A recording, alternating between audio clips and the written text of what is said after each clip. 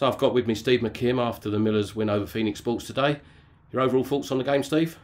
Tough game. Um, Phoenix on a good run. They've, they've, got a few points in the last few games, and they were never going to come here and lay down and die. Um, we knew, and the team talk was from the start that it was going to be a battle. Um, they got some quality that could hurt you, and we have to nullify that. And I thought we did that in certain aspects in the first half. We should have scored early early on. Should have added to that. We didn't. When we did score, um, we should sharp shop um, instead of giving a, a, cheap goal away. Great delivery, um, but we've got to mark tighter in the box.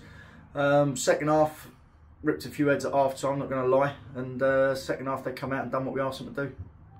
And uh, the win came at a cost. A couple of players substituting in the first half. What's the story on the boys? Yeah, it's tough. It's tough. Uh, Julian uh, done his knee. Uh, not sure how bad that is. Uh, Sonny again landed on his knee. Not sure how, how, bad that is until the swelling goes down. But yeah, it's not. It's not good.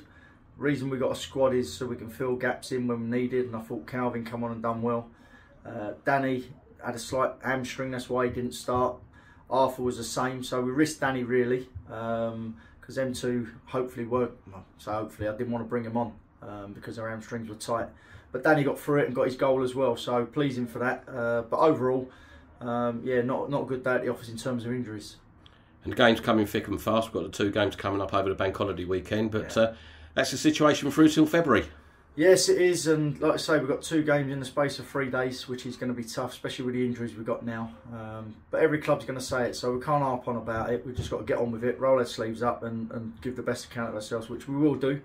Um, the boys know what we want, know the standards we expect, um, and it give other players a not a chance, but the other players are running the team um, if these injuries can continue.